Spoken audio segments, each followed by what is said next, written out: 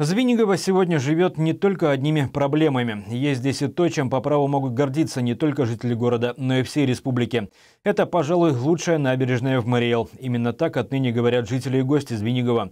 Здесь за 61 миллион рублей масштабно реконструировали городскую набережную, превратив ее в современное общественное пространство, где можно и погулять, и позаниматься спортом, и привести детей на игровую площадку. В эти осенние дни реконструкция набережной завершается. Качество проделанной работы оценил первый зампред правительства МРИЭЛ Михаил Васютин. Вместе с ним в городе на Волге побывала наша съемочная группа.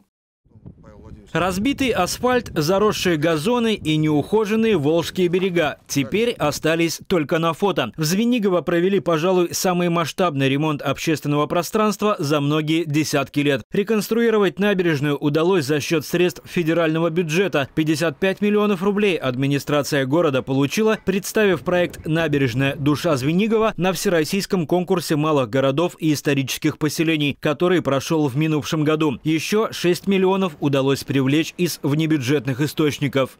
В 2018 году главой государства Путин Владимиром Владимировичем в январе месяце был объявлен всероссийский конкурс среди малых городов и исторических поселений. А, город Звенигово, малый город, численность населения 11,5 тысяч, участвовал в данном конкурсе. В итоге вышел финал и победил. Вошел в двадцатку из 400 городов э, с финансированием федерального бюджета в размере 55 миллионов рублей. Реализация проекта заключалась в изготовлении проекта, получении государственной экспертизы, торгов и реализации данного направления.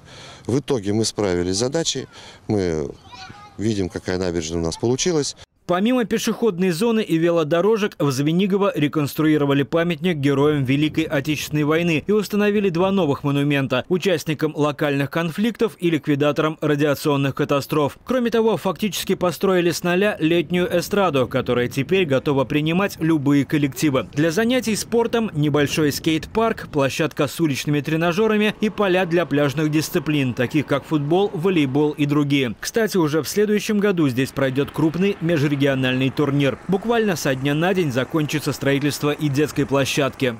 Буквально неделю назад был Всероссийский форум, на котором мы участвовали. Э, нас просили как примером показать, как в целом в Российской Федерации справляются победители данных грантов.